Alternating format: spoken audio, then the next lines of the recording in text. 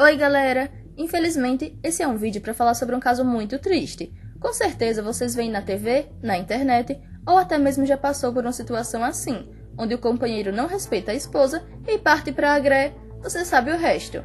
Esse tipo de coisa não acontece só em família de pobre. Em família de rico também acontece, e foi o que aconteceu na família de Silvio Santos. Segundo Erlan Bastos, colunista do portal em off, Cíntia Bravanel, que é mãe de Tiago Bravanel, foi agredir pelo próprio companheiro.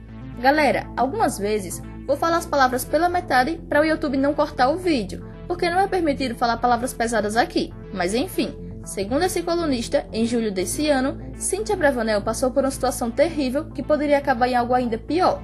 Cíntia Bravanel foi agre com essas palavras que estão aparecendo na tela. O caso foi levado à justiça e o Ministério Público denunciou o companheiro da filha de Silvio Santos por lesão corporal. No dia que isso aconteceu, Cíntia Bravanel e o então companheiro estavam em um bar pela tarde e ele estava alcoolizado. Ele passou a tarde bebendo e depois começou a brigar com Cíntia Bravanel, Parece que eles tinham uma relação relativamente tranquila, porém, ele estava frustrado porque não estava conseguindo arrumar um emprego como ator e começou a culpar Cynthia por isso. Leandro Silvestre ficou fora de controle e começou a agredir. A coluna em off teve acesso às fotos de como Cynthia Bravanel ficou, mas preferiu não divulgar, porque as imagens não são nada leves.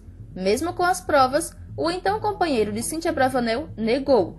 Ele disse que, na verdade, ele era quem estava sendo agredido Sobre as marcas no corpo de Cynthia Bravanel, ele disse que na verdade era porque ele que estava se defendendo dela, ou seja, ele só fez aquilo por legítima defesa. Segundo Leandro, Cynthia Bravanel é muito ciumenta e muito possessiva e não queria deixá-lo ir para o sul do país a trabalho. Até o momento, nem Cynthia Bravanel nem Leandro se pronunciaram sobre o assunto.